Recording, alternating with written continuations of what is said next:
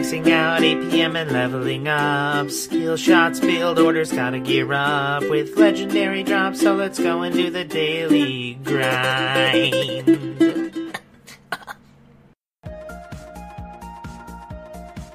Hey everyone, and welcome to the Daily Grind again. Thanks for joining us again on our humble podcast. We have a very exciting episode for you today. Uh, we are uh, right in the heart of E3 and post E3 coverage. Everyone's soaking all soaking it all in, basking in the glory of new video games, up and coming video games. Myles, what is the hype level for you, sir?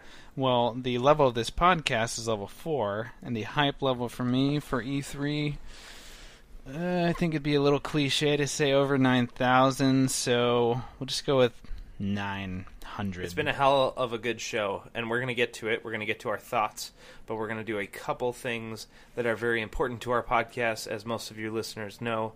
And only one listener knows of his contribution so far to our podcast, which is that delicious techie music that is gracing our ears. We are thanking Ryan Ramon.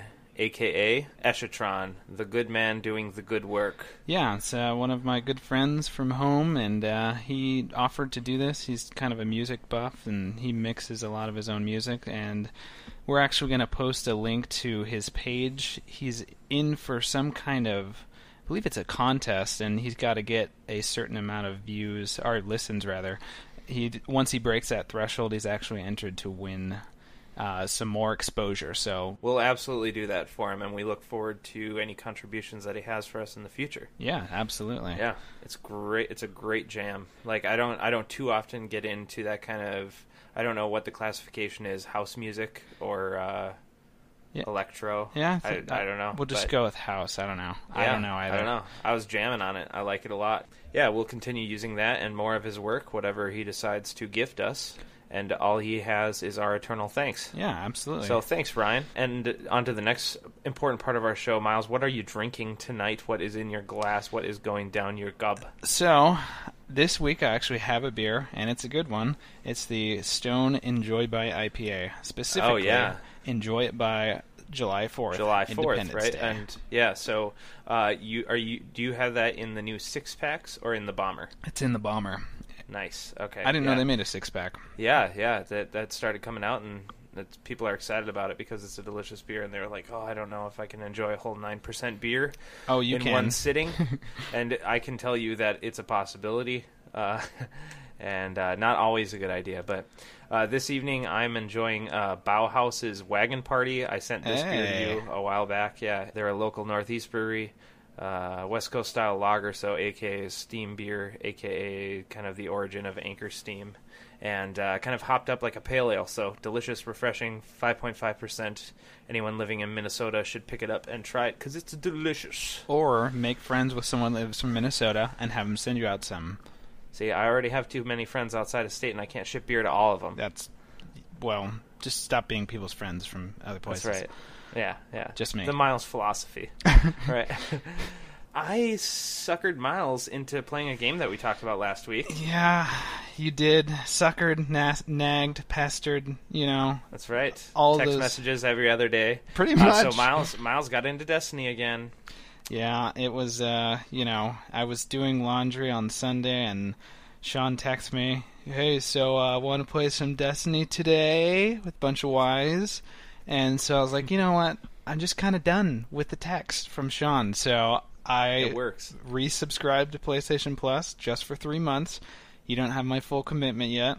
And then uh, I bought the two DLCs, and yeah, we hopped on and got carried a few, Uh, what was it? things. Yeah. Well, a couple. I mean, you got carried, right? I, Yeah. A, a, a couple. Uh, a couple nights ago on Tuesday, we actually uh, ran through both raids in one night. Actually, we did three raids. We did a normal version of Vault of Glass, normal of uh, Crota's End, and hard mode Vault of Glass. And Miles didn't get the greatest loot. I got a few guns that I had been waiting for for months on end, so I'm pretty excited about that. I was pretty excited too, just because it's nice for people who are carrying and doing other people a favor to get something out of it. I mean, that's Yeah. good. And I was half in the bag that evening, and I was actually running the whole thing on my 31 Warlock. uh, when my max level that I probably would have run if I had my senses about it probably wouldn't have gotten those guns. So I'm pretty excited that just with his track record. um, uh, so I'm pretty excited that I did that. And um, yeah, so what do you think of Destiny so far, Myles? Do you share my sentiment? I mean, obviously you're a little behind in some of the content. So I will say, I um, when you had mentioned the dailies and stuff, and I was like, I just like cringed a little bit. I was like, oh my god, Yeah, like, you need more of those in your life. Yeah, so it's like, ooh, like the weekly, like one off, like we all get together and talk and like have fun and stuff and play. Yeah. that's a ton of fun. That is a. I mean, we that was maybe Tuesday was the most fun I've had in Destiny. Just rolling with a bunch of people from the Gamer Den, uh, a couple guys, Rory, Nate, that are very good at the PVE content in the game. Yeah, they were pretty Yeah. ridiculous with their gear and just generally. I don't know. It's just crazy. They carried Yeah, me I had a lot of fun.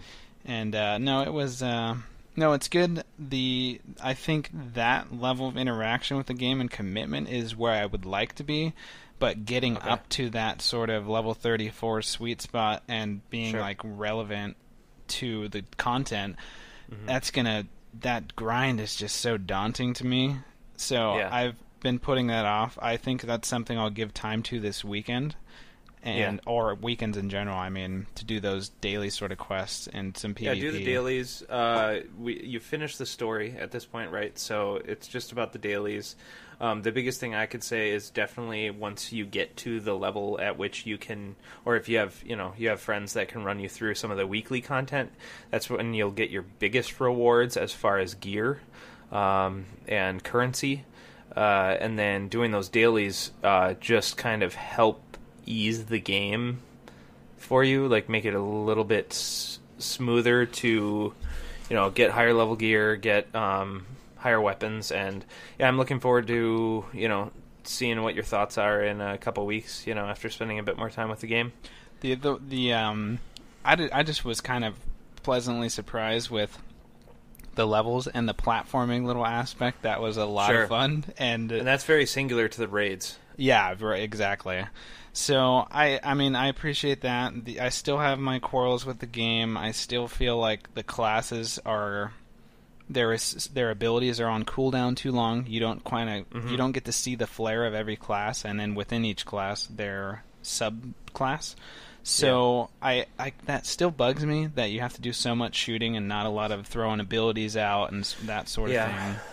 Yeah, um, that's what you know. That's what gives the guns their glory, so to speak. You know, like you get items in WoW, and they modify h- how your spells work, right? So you're getting lower cooldowns on that. You're maxing out your um, Spell power, your and- rotation, yeah, right? your- And so, so that's kind of a big deal.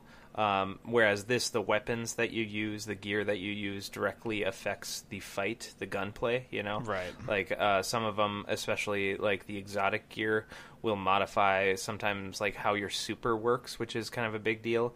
Um, once you get to sort of like the point where you're kind of looking at your character and you're min maxing and kind of figuring out what is the best loadout for either PVE or PvP, that stuff gets really fun and you start gaining a better understanding of your character and how it works outside of casting a grenade or a melee or a super, you know. So, and uh, we'll talk about Destiny in the E3 portion of the podcast because there was just a bunch of stuff that seemed like it might really appeal to you. So we'll get into that. Uh, have you touched Splatoon again in the last Oh, week? Yeah, I've I've been playing. Oh, wow, I didn't a know that. surprising amount actually. I got into it probably Saturday morning. Woke up. It's like I don't feel like playing Heroes Alone. Chris wasn't on. Didn't feel quite like playing Hearthstone, so I popped that back in, and you know I've gained such an appreciation for that game. I yeah. Uh, what level are you now? I think I just hit twelve this afternoon. Oh wow. Yeah. So- I'm behind now. Yeah, I- I don't know that Chris has been playing either. It's been.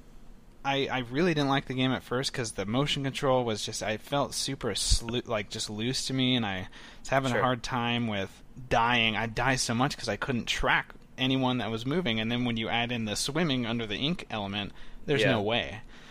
But I've gotten a lot better. Has that gotten better? Oh yeah, I've been utilizing that move myself, kind of like camping around corners, being mindful of where I'm seeing ink come from, and then I just camp, pop out, shoot, get them, and then I just go on my merry way. So I've seen my win rate go up substantially. But the other Nice. thing that's, That's fun that there's those win streaks too, right? yeah, there's Because, have you noticed those? there's something on the side of the screen that says like it, you're heating so up. the more games that you yeah the more games that you win you'll actually get uh, modifiers on the points or xp that you get Mm-hmm. so if you have a higher win streak uh, you're earning more so it's definitely encouragement to uh, however like it's, as soon as you lose one it doesn't just drop down to zero Yeah. it just takes it down a tick so it just kind of rewards like thoughtful gameplay and I, I really appreciate that I think I got up to a seven five. Uh, that's very good So that was good. But the other thing that's kind of irking me today, I've noticed it really, like more so than any other day, is that the connection was just bad all day and super. Oh, it's Nintendo, lobbies. you know. It's Nintendo on the weekend. Like, I don't know, like Nintendo. I almost feel like as much as I love Splatoon and appreciate what it's doing for a game that's like basically based around online play, it's a gutsy call for Nintendo. They're trying to get into the modern age, I guess, so to speak, and. uh and but they've they've historically done horribly when it comes to matchmaking, and it really shows here.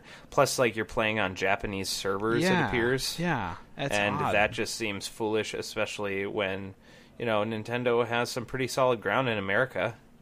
Yeah, you know, I've uh, I don't, I think that they? Sorry to interrupt you, but you think they look at the numbers and they would set up some sort of you know dedicated servers, here? regional servers. Yeah, I I don't I haven't looked at numbers sales numbers for this game, but I've actually seen multiple people that I I have played with in separate days. that- Like it's not just the same day. I'll happen across that same person later on. So I don't know Right. how big this game is. I haven't looked into the sales, but yeah. You- I'd like to see the sales because it's a game that should do well. I feel it. I'm, it's it's a lot of fun. I'm having a lot. Of fun. The fact of, of, the matter is, is there's probably not that many Wii U's out there in the living room that yeah. you know aren't aren't playing Disney Infinity and I don't know that or this Skylanders. Skylanders too, yeah. I don't know that this would drive a console sale. This game, No. you know. So, Not for me, no way. mm-mm. but it's a lot of fun getting into. I check it daily at least to see what new clothes there are because each clothes, each set of clothes, Yeah. uh, has a different buff on it. You can kind of min max in that sense too, and then you have Nice. uh, tiered clothing. I guess you have Anything, anytime I think about checking into a Nintendo game daily, I think of Animal Crossing. Yep. I'm just like, God, uh, you just feel like such an ass after doing that for a, a, a month. Yeah, you really do. But this game, uh, it, it's a lot of fun. I'm appreciating it more and more as time goes on. The matchmaking, both from a network connection sort of standpoint, I get a lot Yeah. of lag that sits in there. I, I noticed that big time today. But also, And if only, if only they gave you a wired connection. yeah, You know, you have to go over Wi-Fi. Yeah, so there's that, and uh, the matchmaking itself in terms of the ranks of players you go up Mhm. against. I was getting smoked by teams of like they had there's so there's teams of four. They would have at least two twenties, and our team would have not a single twenty. A couple of rank elevens, highest fifteen. Yeah, so they got a lot, lot better gear. yeah, and the, I think the gear plays a big big uh, role in everything. Oh, for sure it does. Because you don't just unlock one perk on the upper echelon gear. You get, you know, Four. Three. I think it maxes three. You get the main one, Or and then you four, get four. right? And then you get yeah, right. Yeah. so it's big Well, time. And the other Yep. thing I want to. I want to play that game some more. I would recommend it. I'm I'm liking it a lot. The ranked play, not so much. I don't think I'll ever play the ranked. Just played one match the other day, and if you don't win, you get nothing. You get no coins. Whew. You get no uh, experience. brutal. So I, I don't What know. are the rewards for playing ranked? I mean, you get your did you rank find up. out? I mean, that's kind of Yeah, it. that's it? I, Wow. I didn't see anything else. I haven't delved too much into it, but I played one game, and when I saw I didn't get experience, I was like, I have no interest in this. I'm not going to sit here and gamble on leveling up. You know? Yeah. That's one thing that we should probably, I mean, that I can say confidently is that, you know, if you have any interest in playing this game, play it right now while it's hot because I'm pretty sure that this game has a short fuse because it's Nintendo, it's online, and uh, they're not very well known for patching things outside of apparently Smash Brothers right now, throwing in Roy and Ryu. Mm-hmm. Yeah. So, um, you know, and I don't, I don't know if they're notorious in that game for doing balance changes. I guess they haven't really had the opportunity outside of the Wii, but um, with Brawl. Yeah, So- Brawl would be the only one. Yeah. So, um, yeah. So we uh, we got on with uh, the Roth brothers, a few of our friends, and played a game called Ark Survival, which is on the top uh, of Steam uh, purchases lately, Yeah, it really got up there, and and it stayed up there. So it caught the Rust fever. it really did, and throughout the Steam sale, even you know, so it's maintaining its like top purchased status through that. Yeah. so it's kind of impressive. Yeah, it is. Um, so we both played the game. Um, uh, I I am not a huge fan of it. I enjoyed Rust immensely. This game does something kind of smart, but also kind of different in that if you've ever played Rust, the whole there's a really big fear of dying in the game because you lose all the gear that you have, and if they get into your house where you store all your things, if you know some enemies do, then you know they loot it like bandits. Here uh, we're playing on a PVE server, thank God, to start out because the game d- uh, it didn't feel as intense. You know, I felt like I was being killed for. I mean, I guess maybe I felt this way in Rust too. Like I didn't know like which creatures or zones were dangerous, but this game is just like, you know, you're naked, you're out there, you'll you'll you'll die very quickly because there's a lot to micromanage in the game. Oh yeah, you have so many different. Um, I don't know metrics. I don't know how you. you have so many yeah, no, it's pools little to like keep yeah, full. you have a lot of bars to worry about. You know, it's like your stamina bar, your health bar, your thirst bar, and they deplete so quickly. yeah. It's ridiculous. I mean, at least when you're naked. I was naked in that whole game, much much like real life. Yeah, I Um, saw some of that when we were in Minnesota. It was very yeah, uncomfortable. Yeah. Well, I just bask in the glory, my friend, while you can. I I know it's a regret that I live to this day. I know. So yeah, I have my problems. There's there's a there's a leveling up system which, I mean, doesn't uh, at least helps you feel like you're progressing in the game, like you're learning new schematics. Like now that I've learned how to make a shirt, my character just knows how to make a shirt Yeah, forever. permanently. And I bel Yeah. I believe that that carries over to any server that you go onto, but I'm not positive hmm. about that. Also, the game is very very taxing on my video card. I do not have a bad video card. Yep, same here. I had to turn the settings down to medium. I was like, "What? I'm not seeing it in game either. The textures don't We look should- that yeah. good." It's very unoptimized. It's early access, you know. I'd like to talk about that at some point too. This kind of early access BS that's happening right now because I've been screwed over a fair amount of times. So I tried to get the refund on Steam and it was so convoluted to go about that that I was just like, okay, I'll do this another day. was that uh, before or after their newest refund pro- policy? I think it was after because I just checked it out Oh. on uh, on the internets, and they said the internets told me that it was post. It was just it was Tuesday, I think. Yeah, it was uh, a couple weeks or this la- Tuesday before last. I don't know. No, it was yesterday. It was yesterday, yesterday evening that I tried it. Oh, okay. So um, I might go back in just to you know understand how that works. But anyways, back to Ark. What are your thoughts on it so far? You know, I feel the same as you. Uh, in Rust, there wasn't as many threats at any given time. Yeah, You know, there was just the zombies, and you had to go through specific, densely populated areas for that to be a Yeah. real issue. yeah. Now there aren't even zombies in Rust. Oh, really? Yeah, it's just uh, radiated animals. Interesting. So it's more focusing on the PvP issue, Yeah, see, uh, I, I which like is really interesting. But I wanted to Yeah. try this out because on its face, it sounded kind of interesting.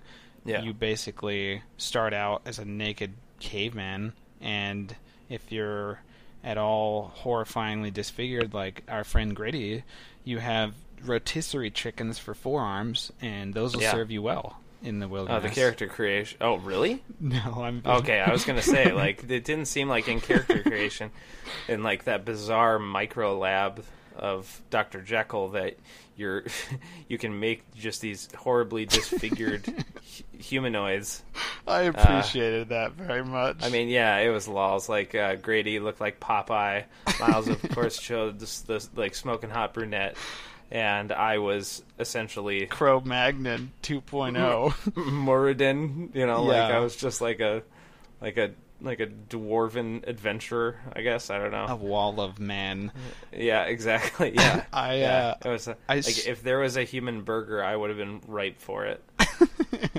it was good. It was very good. I actually, I uh, strum. That's the past tense of stream. We determined. I strum us playing that. No, you didn't really. I did, yeah. Wow. And I was watching it last night actually to see what exactly had been captured, and I was just randomly, you know, clicking throughout periods of the archived or the past broadcasts, and I happened to click right when I had given you the spear. So you were sitting there in our house, and you were just like, a fine this- thrust. you got that? yeah, I got that Very on good. tape. Good, nice. We need that. So maybe Yeah. we could link that in the in the show notes because it was pretty Uh, I'd, hilarious. li- I'd like to put that audio in the uh, in, in the podcast at some point. Just uh, awkwardly cut it Uh, in. uh, a fine thrust. Yeah, it was pretty Uh, yeah. amazing. Um. Yeah. So, anyways, I don't. I'm gonna try and ask for a refund on that game. I'm sorry, Roth Brothers, but um, I mean, I, I just don't have any interest right now, and I'm not gonna. I've, if it, and if it if it gets any better, I'm sure I'll try it out again because I enjoyed Rust. But at this point, if I want that kind of flavor in a game, You're just gonna go I'm to going Rust. to go to Rust. Yeah, because I already, you know, I forget how many hours it was. I- I- it was something ridiculous. I, I want to say it was like 270 hours, but I need Oh to my double God. check.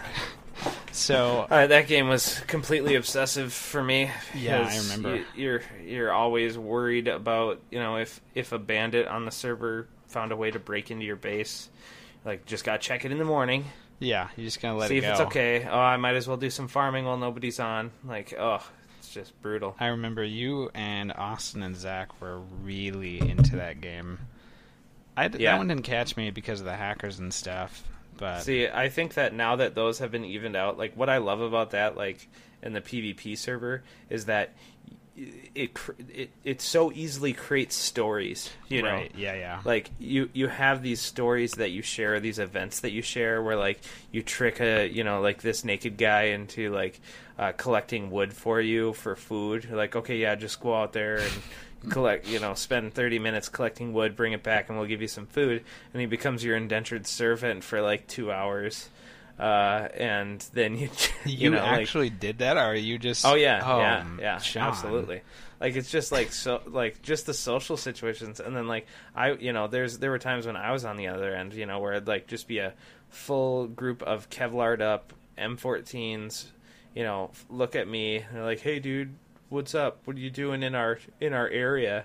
Like, well, I didn't know this is your area. Like, I'm just walking around. I'm trying to find my own space. Okay, well, you know, good luck with that. Just you see that place over here and this place here, just you can't come in this place. Otherwise, we'll just kill you. Like, okay, that sounds good. I'll do that.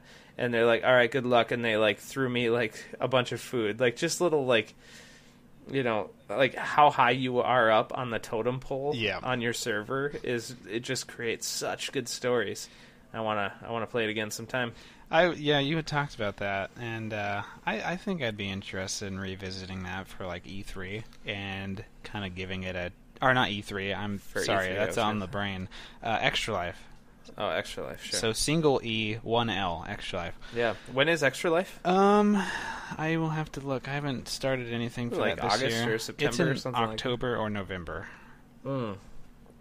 Okay, that would be interesting. Yeah, So but as far as art goes, just to round up on my thoughts, I I like the idea that you have the all the different dinosaurs. That's kind of a fun dynamic. You got some flying ones, you got some swimming ones, you got a megalodon in there for Christ's sake. yeah, the uh, the iconic T Rex, T Rex. the yeah. uh, Dilophosaur. I even heard that. yeah, they spit like, and you. I was like, huh, huh. so yeah, it's a it's a very unforgiving game. It is to be sure. absolutely. I just found myself so demoralized. I was like, I don't. What am I doing with Yeah, my I don't even know. But Yeah, Yeah. there's there's some problems with that. Like especially like harvesting is such a big component of those games. To you know like go out and like just run through bushes and not know that you're going to get a specific component that you need out of one thing is that it's you know RNG based is really demoralizing. well, there's that, and just the grinding of experience is unbelievable. Pretty brutal. It takes so long. So we're sitting. Basically, we've already like we plateaued so early. We got our cloth armor, and then we had spears and slingshots for like probably about at least four or five hours of in-game time spent trying to level up. Army. Yeah, and I just the the experience needs to come down. They need to condense the leveling experience so you can get up there faster and actually do cool things. Yeah. And I don't know. I'm I'm kind of checked out right now as well. I, I it seems like such a chore to play that game, so I'll probably be putting that on the back burner. I know, and it's you know like at least some good memories were made in it. You know, like that's definitely a game where like you know any game that has you just kind of figuring things out with friends is always ripe with opportunity for you know memories to be made. Like we uh, we we dragged a giant crocodile dinosaur. Not we, you. Oh, okay. I guess I'll shoulder the blame on that one. I have that on the Twitch Um, stream too, and oh, it is Lord. hilarious. Yeah, it's pretty funny. So, and there's uh, you know the game's quite buggy, so we have this house, and he's just sticking his head through the geometry of the house, trying to nab at us, and we're like poking him with our little toothpicks. If the game was a little bit more clear about what it was trying to encourage you to do. Even as an open world game, they just have so many systems that you need to worry about. It feels like a tech demo for a game that will be released in a year. Yeah, know? yeah. So, but that's what you get with early access games, and let that lesson be learned. Yeah, I I don't know. I think I played over two hours, so I don't know if I'll be able to refund it. So I might have to eat this one, but you know that's okay. We had some fun with it. Yeah, and you can always come back to it in a year, Mhm. see where it's at, just like Rust. So, um, well, we're gonna try and keep it a relatively short podcast for all the content that we want to talk about after E3. It's a super exciting time. Release dates were announced. We saw some beautiful footage, a lot of games that we were excited for and that we had previously talked about, even with my uh, my computer cutting out. Um, there are a lot of exciting things uh, on the horizon, and we're going to be talking about them uh, after the break here. Yep. So stay So with we'll- us. See ya on the other side. Boink.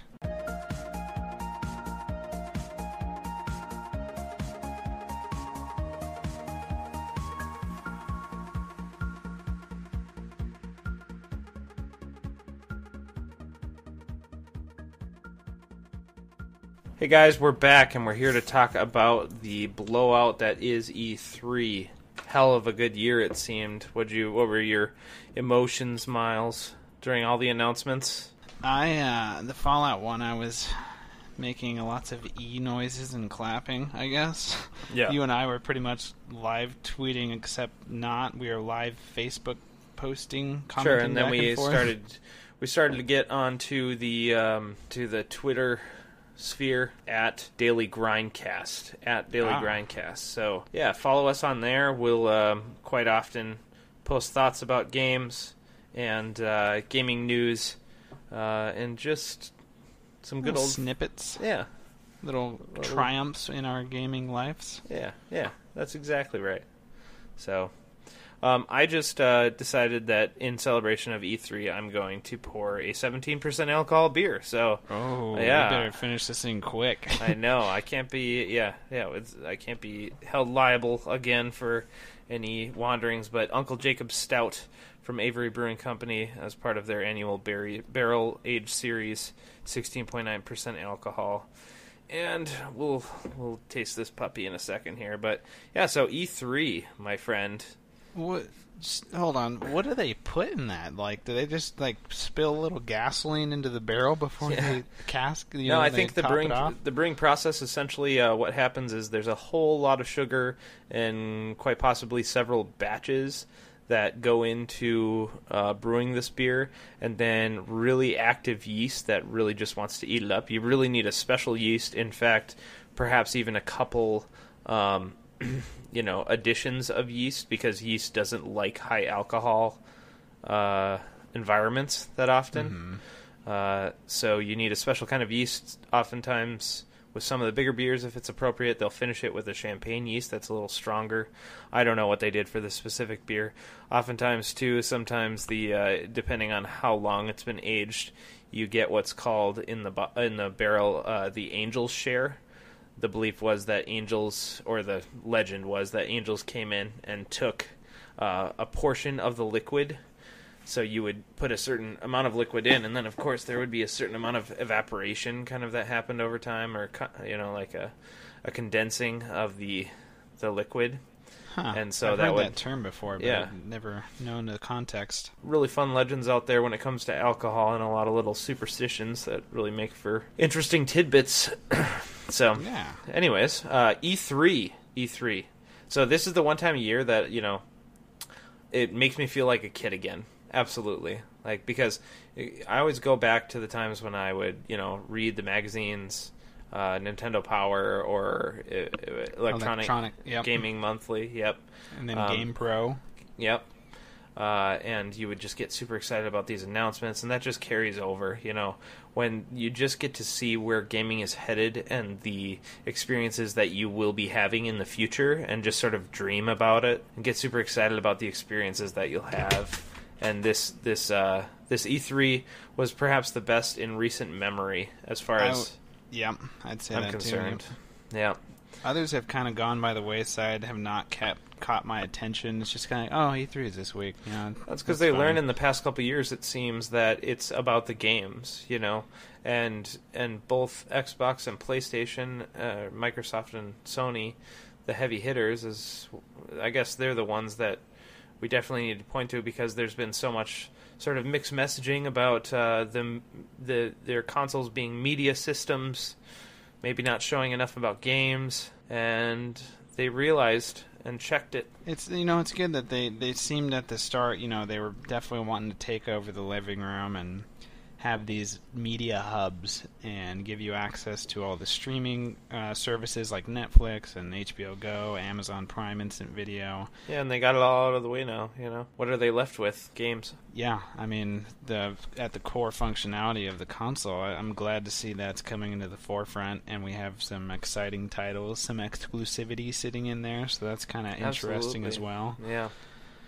So let's uh, let's just go through chronologically and just talk about some of the games we're really excited for from the press junkets, uh, some of the events, and uh, I guess we can start off with Bethesda if that's all right with you.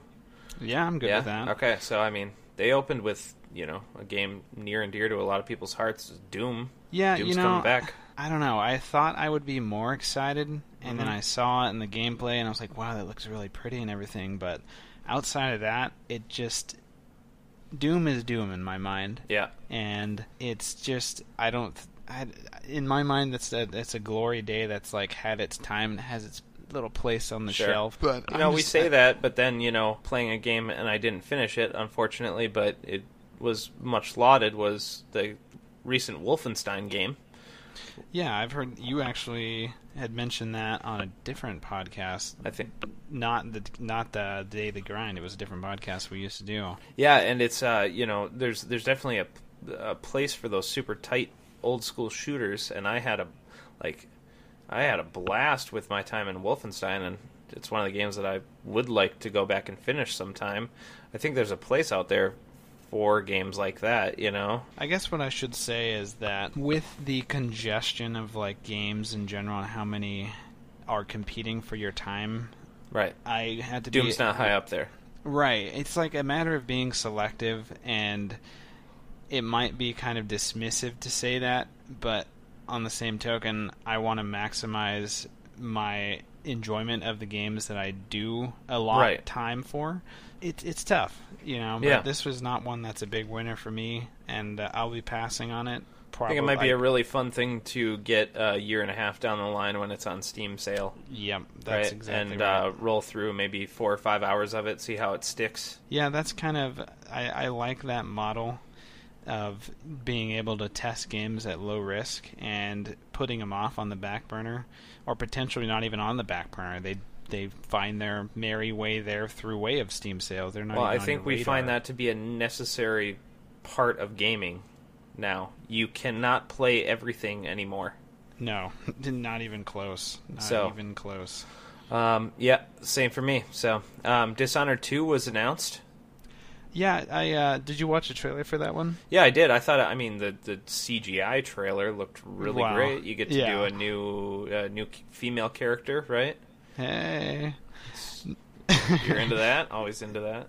No, I uh, I watched the trailer and then I actually watched it again when I was going through like a, a YouTube had like an aggregate of a bunch of the different trailers that Sure. were aired this week, and I came across that one again. And on second viewing, I had a little tinge of like, ooh, ooh, that's kind of cool. But I don't know. I played the first Dishonored, but this again, going back to what I said earlier, I just don't know that it's going to make the cut. Right. Um, Yep. I understand. Our listeners understand. As soon as I hear that little tinge in your voice, I know where you're going with it. What's Uh, that tinge? Oh, it's the- just like I, I, I would like to play it. I don't have time. the apprehension of like committing to another game. Right. right. Even Like one that might only be like 25 hours, like Dishonored. You know. Yeah. So, yeah. Where are you at on it? I I still haven't beat the first Dishonored. I'm apparently becoming notorious for saying that I haven't beat games. You're a Um, serial not beater. Yeah, it's really it's really pretty horrible. But um, I like the concept a lot. Uh, I liked the systems in Dishonored. I hope they fix some of the stealth issues in Dishonored that we ran Yeah. into. Mm-hmm. Um, where I- you wouldn't know if you were, you know, it encouraged you to play the game stealthily. It encouraged you to try that out, but it didn't give you a good indicator as to if you were stealth or not. Yep, I I ran into that so much, and on Dishonored, I really don't like stealth games too much. I find myself too impatient to go through with remaining stealth throughout the entirety of any one part of Sure. the mission or quest. And so in that game, I really I was committed, man. I was committed so hard because it was really satisfying to get behind someone and just, yeah, the animations in Dishonored yeah, and the art so style, the art style Yeah. is just beautiful. Like, had a really cool art style to it. Um, I'm trying to think of what I could liken it towards. Is it was just it was in my it was mind like it was grungy, almost kind of Gears of War meets Moby Dick, kind of. Yeah, because the the the whale oil The was such a big part of uh, right. it, and the industrial sort of revolution setting, time setting of that the uh, steampunk. first game. Yeah, steampunk. But you know, I I was really committed to being stealth in that game, but like you said, it would just I would Quickly turns into a shit show. right. So I was like, well, what's the point? I I wanted to so much, but it just went out the window so many times, and I'd try it multiple times. And that's not that's not like me. Usually, I just kind of Yeah. steamroll through games because I want to get on to the next one. Yeah. But in this game, I really stuck with it, and then about halfway through the game, I was like, I just, it's such a waste of time sitting here and restarting the mission to Right. maintain the stealth. So Yeah. Yeah, I mean, uh, I'll definitely come around to it. I won't jump on board as easily as last time. See how it goes. And Fallout 4. Yep, I uh, I I'm glad that it's coming out this fall. It'll be something to play, and obviously it's Fallout, so I'm probably gonna sink. I'm I'm guessing I'll probably sink forty hours into this game at least. Into Fallout Um, 4? Yeah, Yeah, probably more than that. I mean, if you're trying to beat it. yeah, because I got I got the platinum trophy. I think it was the first platinum trophy I got on this game back on PlayStation Three. You mean on Fallout 3? yeah, yeah, on Fallout Yeah. Three. Yeah. So Uh, what's was, the uh, release date on this game? It is November tenth, two thousand fifteen. Okay, yeah, there's a lot of things coming out. Uh, I think it's November 10th or 11th or something like that. There's a lot of things that come out that time. Uh, Rise of the Tomb Raider comes out. We'll talk about that game in a little bit. I was sad to find that Yeah. release date out. I yeah, was that's bummed. pretty, pretty gut wrenching. Yep. Yeah, Fallout 4. I mean, what'd you think of the systems that they showed? The crafting system. You know, the crafting system, I'm not. I just don't really like crafting that much because I just don't consider myself too creative of a person, I guess, and so they usually just feel kind of faffy to me. I like Okay. more like utility. Rather get to the meat and potatoes. Yeah, so I'm not huge on that, but the gun thing looked awesome. The fact What do you that mean? you The gu- oh, the out- modifying the gun. Yeah. Yeah, so I'm looking and the cool thing that. was that you know that just like if you were to imagine you know Skyrim or Fallout 3, like the game is populated with all these interactable objects. Uh, Mhm. you could pick up these different objects, and based on what they were, you know, whether it's like a tin can or a pencil sharpener or something, you could utilize that to craft different components of guns, and then slap those modifications onto whatever gun you wanted. So it kind of had it kind of had it like a, a do-it-yourself Borderlands thing. and it was a it's a stark contrast to what you were talking about earlier with Ark, where you have to kind of run around and find materials you're not guaranteed to always get. Yeah, you So- know exactly what you're looking for. Yeah, you just get either I think it was like you can get metal from a toy car or like a tin can or something. Right. So it was it's a lot more flexible. It's pretty cool. No, I'm looking forward to it. The color palette seems a lot more, you know, brightened up in Mm-hmm. Fallout 3 and New Vegas. It was very it had that like washed out sepia tone sort of, you know, it was Yeah. just very To be fair, a lot of what we've seen is quote unquote before the bombs drop. that's so there true. might be a little bit of a color palette swap that is yet to be determined. yeah, before it washes out. Yeah. I uh I love that idea though of like coming into Fallout as a newer player, uh, being there before the bombs drop and sort of experiencing that. I'm sure there'll be several Easter eggs and throwbacks to later games, you know, but I'll be, I'll essentially be there at the origin story, which is pretty cool. I actually, what did you think about the creation, the color, the Oh, character creation? Yeah, screen? I love that. That was great. So essentially, for people that haven't seen it, um, you have a situation where uh, husband and wife are looking in the mirror and uh, you know compliment each other on teasing each other in a very uh, husbandy, wifey kind of way, Mm-hmm. uh, and um, you would modify uh, their looks. And then, based on their looks, I think it would determine what your child looked like, right? Yeah, that's what they said. Yep. Yeah. So I think essentially, I mean, that sets it up right for the for the inevitable uh, mom or dad dies and you play as the kid, right? Yeah, that's definitely gonna happen. I mean, right? I It, has to because it's all the gameplay footage. It showed you, you know, selecting what was what was the character you were going to play, and uh, you uh, he picked the dad, the male, and Mhm. then um, they mentioned that this would affect the way your child looked and how the you know how you look as a an offspring. and I believe it said that you get into the vault, and then 200 years later you're out of the vault. So Yeah, maybe there's a you lot of die, and then you play as a kid. I don't know. We'll see. I guess. But Yeah, that's interesting. There's a lot of open-ended questions there, I think. But yeah, I love those little minor Bethesda touches. So the other touch, they had mentioned that they recorded a bunch of, I guess, last names. Maybe it was first names too. Right, it was a hundred, a hundred first names. Oh, okay. It was like it was like a, or no, what did they say? It was either a hundred or a thousand of the most commonly, commonly used names. first names. So they would just like integrate that into the speech. I'm hoping, So- you know, uh, obviously it's a minor touch that something that might be kind of forgettable, but I'm hoping that it doesn't turn into kind of a Siri thing where it's like, "Hello, Sean," you know, like a really emotionless kind of generated. right. Yeah. like it just So doesn't you- flow.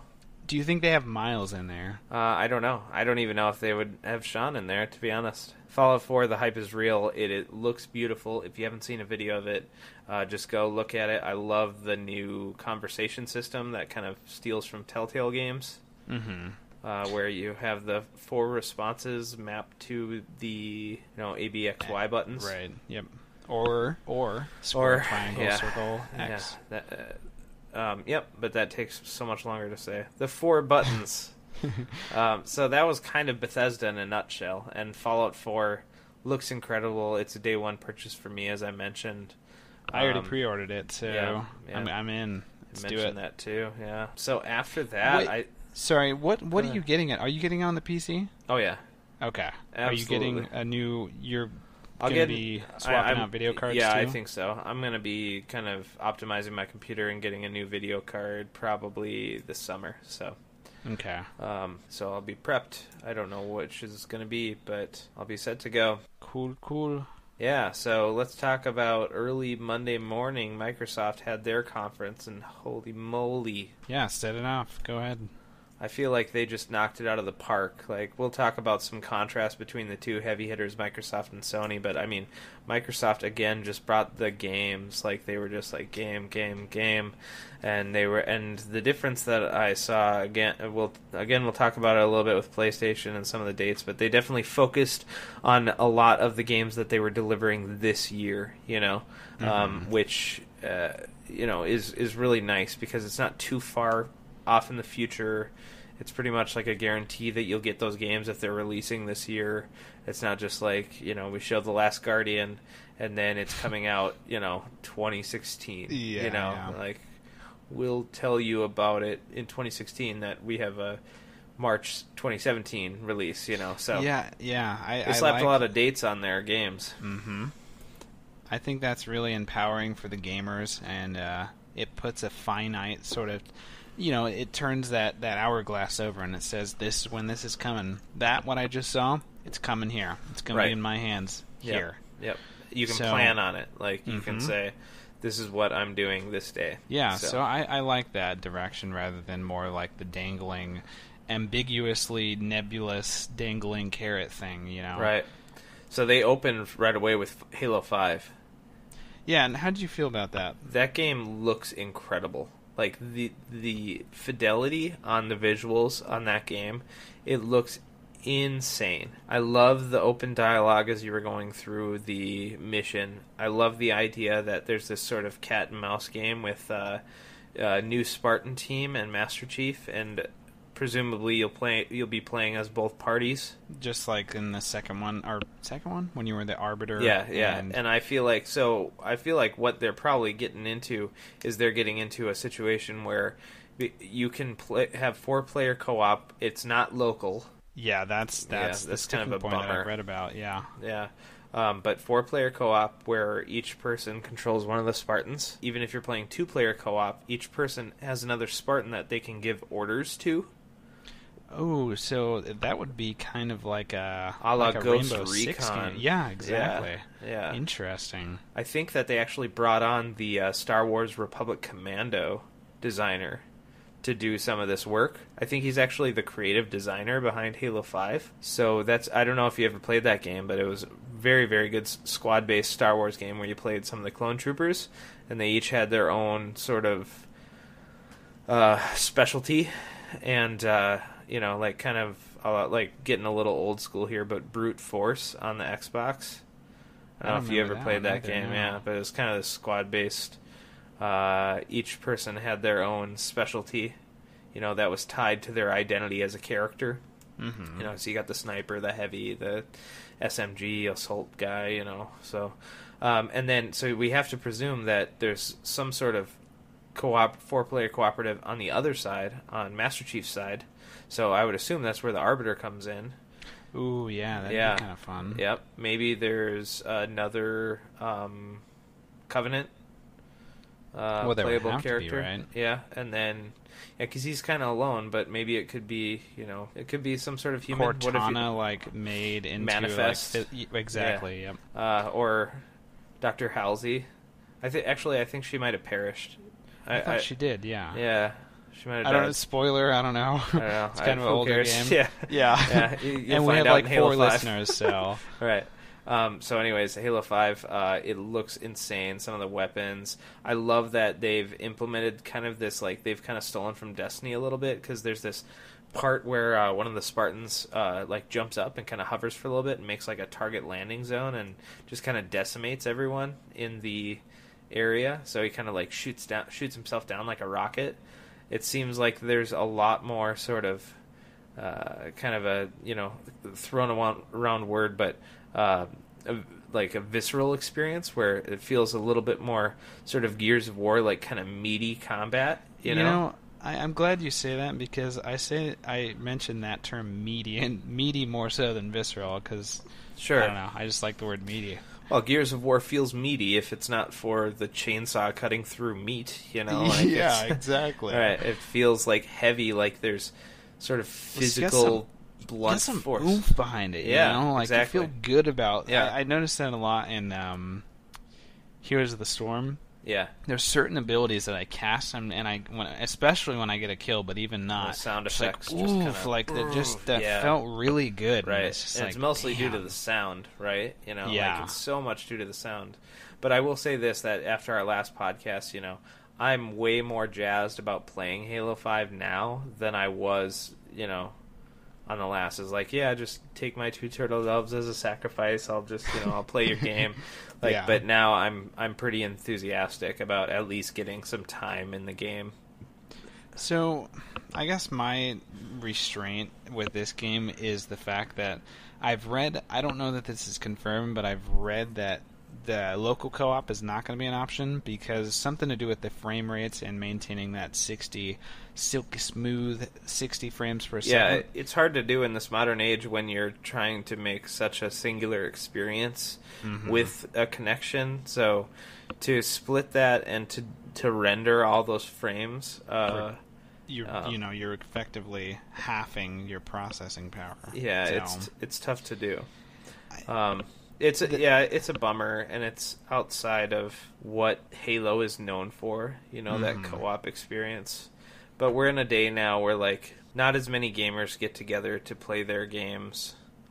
Uh, yeah, I would on the couch, say that. Yep. and I would rather the expe- the shared online experience be tight and seamless than Mhm. worry about you know local co-op. being slightly like kind of diluted. Right.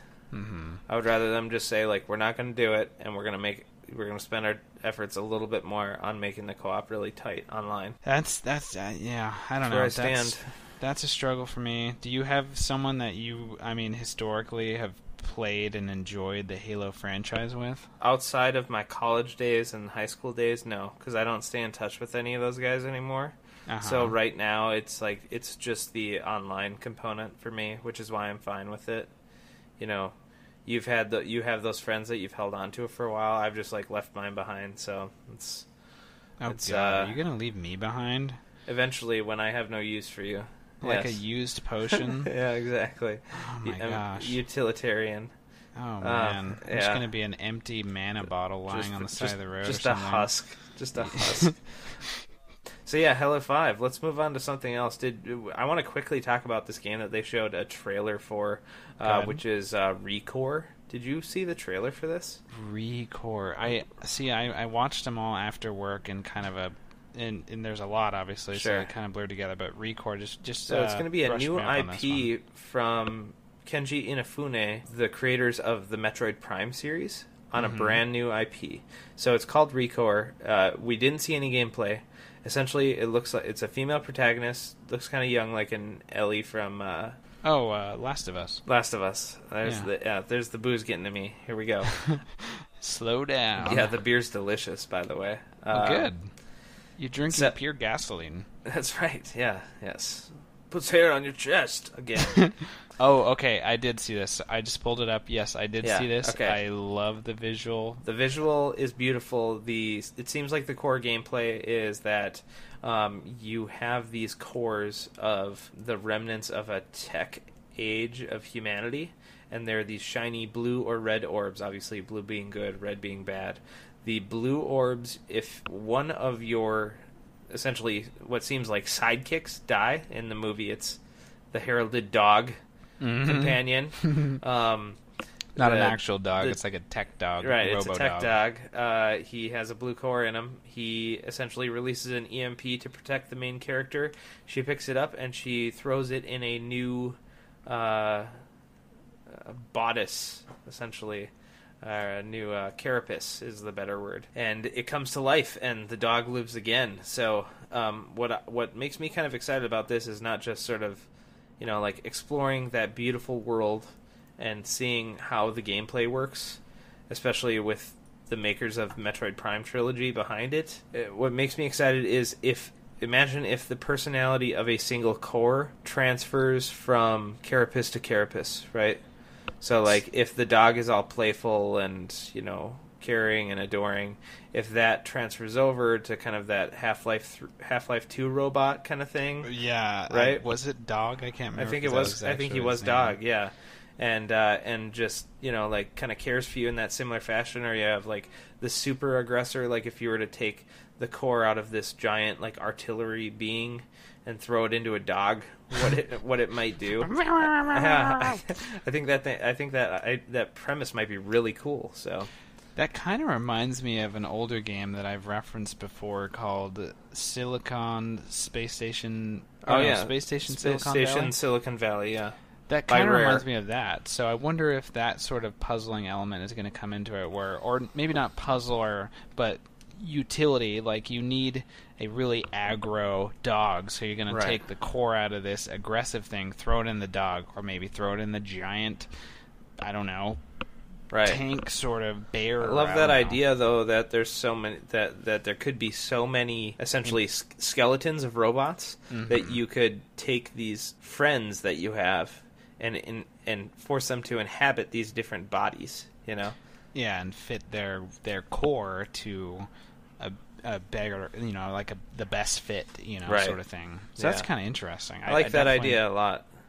I'll be looking out for this one. I I did watch the trailer, but you know, Yeah. it's uh It's a ways off. They say 2016, so curious to see some gameplay for sure. yep, I would like to. Probably next E3. Let's be honest. Yeah. Um, so uh, Fallout 4, uh, real briefly, they say that Xbox is getting compatibility with mods made on PC, which is super cool. That's kind of interesting. Yeah. I wonder if they're going to be doing that on the Fallout. If they're going to be doing that as a Steam Workshop sort of thing, where it's no, going to be. a- it's going to be. I bet you it's going to be inherent to the idea of Windows 10. Hmm. Right. So you get Windows 10 as that free upgrade. Windows 10 is being heavily implemented in Xbox. There's going to be some sort of thing that allows you to just rip those off within the system. I I just hope that mods are going to be easy to install. If if they're not installed through the Steam Workshop, I hope that there's some other, you know, mod. Like you don't need to go through Curse. Yeah, or- exactly. Um, Because I, I've worked with Steam Workshop and it's super slick and awesome. I've used it with Skyrim. They just like pick that out, do do do, installed, Install, and they done. update for you. If Right. the creator patches their mod, Yep. boom, it's done for pretty you. slick. So Yep. Let's hope they take a note from that. I also, if you're if you have an Xbox One and you're thinking about buying it, Fallout 3 is included with the purchase of Fallout 4. So Yeah, I saw that today. Is that just Fallout 3 or is it Fallout 3 is there any sort of don't think there's any remaster, especially when it comes to the announcement that came later in their uh, press event uh, that they were going to be going into backwards compatibility. right? Um, so yeah, um, as of this holiday season, hundred Xbox 360 games will be fully backwards compatible and native to the Xbox One. Does So that all mean those- the physical disc or So you, both the physical disc and apparently, from what I've heard, is that it's attached to your gamer tag. So if you have a game that you've gotten a gamer score on, you can just download it. Hmm. Yeah. So your Well, hard that's a- gonna fill up pretty quick. Well, not mine because Right. I actually I played a fair amount of games on Xbox 360, but I made a new account when I got Xbox One. I think it Oh. was I think it was something as stupid as I couldn't remember the email in which I had signed up for it on, so I couldn't do the forget password thing. So Got I was it. like, whatever. I'm just gonna, you Yeah. know, make a new one. So Well, if you have the discs, they'll work. Um, and apparently, they're going to be adding like some something like thirty to sixty games every month. So uh, the problem is, is the licensing. They need to go out and get all the licensing mhm. for all these games. That may So- have expired or whatever. Right. So, are you uh, just to touch on that real quick? So, is there any games that you might be revisiting from? Uh, Oh yeah. I mean, like I'm gonna definitely take another look at my full XBLA library. Mm-hmm. Like, there's things that I bought and like didn't touch, you know, like uh, or or didn't get into with enthusiasm that I'd go back and take a look at. You know, there's also things like the Halo series. Oh no, those aren't going to be on there because they want you to buy the Master Chief collection. Yeah. Yeah, you know, but I have a few 360 games left over that would be fun to get into again, and uh, I definitely have my downloaded XBLA games that I'd take a look at. Um, it's a big deal for a lot of people, you know. So- Yeah, it's just it's it effectively doubles, even more so than doubles because Xbox 360 was out longer than the right. Their library. Xbox One has been. But yeah, it's a lot Yeah. more. Uh, lot And more- it basically tells anyone owning a 360 right now that has been hesitant and be like, "Hey, it's okay to spend the 350. You can play Mhm. all those on here." a shiny new one with a Yeah. new controller. Exactly. Speaking of new controllers, I actually just saw today. I was doing through going through some more E3 stuff on YouTube and saw that Xbox is releasing a Xbox 360 Elite Xbox Xbox, Xbox One. 360 on the brain. Yes, Xbox One Elite wireless controller. Have you heard anything about Yes, yeah. So that was that was in their uh, their press conference. The controller looks absolutely sick. It's going to be modifiable. You can switch out the grips on the left and right thumbstick. You can switch out the D-pad. You can add extra buttons onto the backside, where you know, like not your index finger or your thumb, but you know the middle finger to pinky. You can utilize more buttons. The controller has highly sensitive uh, inputs, and it's one hundred and fifty dollars. Yeah. So yeah, It better you- work. so would you buy that? Uh, maybe with Christmas money. Okay, you know, like if I were given if I were given like a little something. The imaginary Um, money. That's what I right, call it. yeah, Whenever it's something you get for your your birthday or Christmas Yeah. or graduation. Maybe I don't I don't see a pressing need for it as slick as it is. I see this geared towards more of the MLG player, as tempting as it is to get one with Halo Five. Mm. I just don't know if I would be playing that game as much to justify it. Yeah, but it looks sexy. Oh my god, yeah, it does. It Like really it does. looks really good, and all reports I've heard, podcasts that I've listened to, said that it just like feels really good. yeah. It's It super feels tight. visceral, meaty. That's Yep, what I've heard. Got some Well, heft well. to it. I'd say the most meaty Xbox controller was the first one. The Duke. Uh, yeah, the Duke. Uh, so let's. Uh, I'm gonna skip a couple here. yeah, skip the ones that uh, we're not feeling. We're gonna so. we're gonna we're gonna skip Plants vs Zombies: Garden Warfare 2. 'cause- Good. Yeah, I like the trailer for it. I was amused by Yeah, the trailer, sure. but other than that, It's fun. As soon as a Plants vs Zombies movie comes out, I'll go and see it. Forza Motorsport 6, we were talking about your love for Forza. Of course, this is kind of a tighter racing game than Mm-hmm. uh, the Forza that you played. I want it. I really you want do. it? Okay. I mean, it looks I- pretty. It looks oh amazing. my god! I you know I, I saw this on a lot of the trailers actually this year. Is that they're calling out specifically this was filmed on a PlayStation 4 or Xbox One. This was from this was captured from that console. It's because So- graphics are so high fidelity now Mhm. that and so intense that they want you to know this is happening right now. Like Yeah, whether you're no ready gimmick. for it, yeah, whether you're ready for it or not, this is happening. Yeah, And man, uh, it's- it was- I'm, it's, it's super exciting to see going into this fall. Now that the systems have been out for a year and more, you know, a year and change, seeing strides in the graphical field. they got to get some experience with the the hardware and the architecture, and then you see that on every console. Really, it just kind of gradually kind of ramps it up, and see they push the envelope ever so slightly, and they just yeah, and then it, and then there's a peak. You know, there's a peak. Like, Mhm. what was it for 360? What was the what would you say the peak game was for 360? Hmm. Like Gears of War 3 or something like that. Yeah, yeah. pretty There's high up always there. those ones that stand out. Halo Three was pretty early on in that console's life Yeah. cycle. I just realized too that um, Halo, or I, I just heard that Halo 3 was actually written for kind of a next gen console experience. And then they rolled it out on the Xbox 360. Exactly. It's insane. And then, I mean, for PlayStation, it's got to be like The Last of Us or some of the Naughty Dog games, right? Yeah, absolutely. Yeah. So yeah, so I mean, there's definitely that peak, and we're just we're not even hitting our stride yet. So it's super exciting to see some of these games. Um, let's go through some of these. Uh, there's a fair amount to talk about in Xbox, but I'd like to keep the podcast a little, you know, like under control. Uh, Yeah, Dark yeah. Soul, Dark Souls three is coming out, so that's a thing for all you people that love Dark Souls. It's I- going. It's going to be more of that. With your experience in Bloodborne, where are you on that one? You I, you I, in or I'm not buying it yet. I just Okay. can't. Yeah, I just can't. There's too much other stuff that I that I know I'm gonna like that I don't want to challenge myself to a game that I know I have trouble with. Mhm. So I'll go back into Bloodborne at some point during this year and give it another shot. Okay. Uh, but right now, you know, I, it's 2016, so Okay, let's uh from here on out, like in the interest of keeping this as short as we can, Yeah. let's just uh do like stepping stone, like we're jumping on lily pads or something. Okay. Just touch on each game. sure. Okay, so the division was shown. We have an know- open beta in December. The game's taking more time. I have enough to play. If that game comes out and it's really, really good, then I'm completely down. Uh, there's so much stuff that I know that's going to be good that's coming out soon that I'm fine with a game like Division. If I were to compare it like we did on last episodes to Rust, I'm mm-hmm. fine with it taking more time. Take all the time you need, and then when the time comes out that you're going to release it, whether that be in March or June, then I will be there ready to go. You mm-hmm. know, so they're doing an open beta in December. That's fine. I'll dive into it. It's on Xbox first, I think, the open beta. Take all the time you want, but I'm excited for the game. Hop, skip, and jump after talking about that on length. Rainbow Six Siege.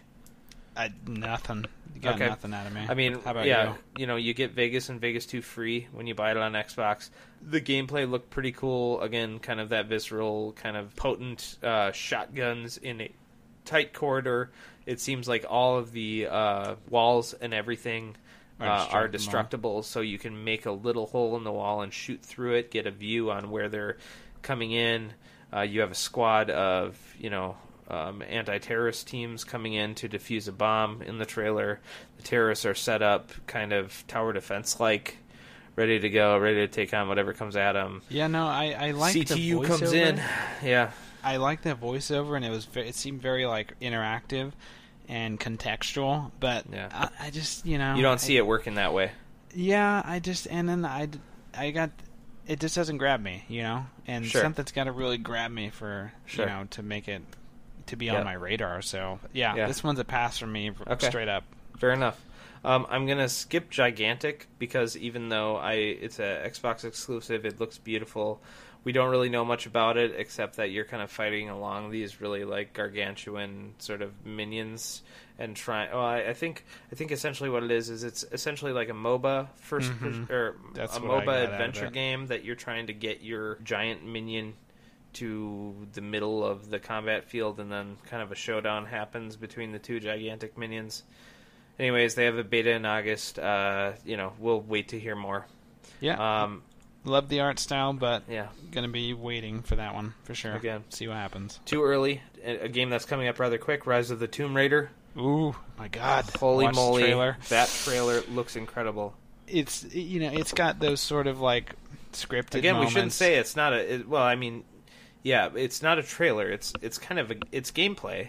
Right, yeah, yeah. It's, It's definitely an engine. of- It's not CGI. This is what you will be seeing. It's it's incredible. Like I don't it's just It has that Uncharted feel. I honestly I was I realized today when I was watching this trailer I like the Tomb Raider, the new Tomb Raider franchise More better than Uncharted, yeah. Yep.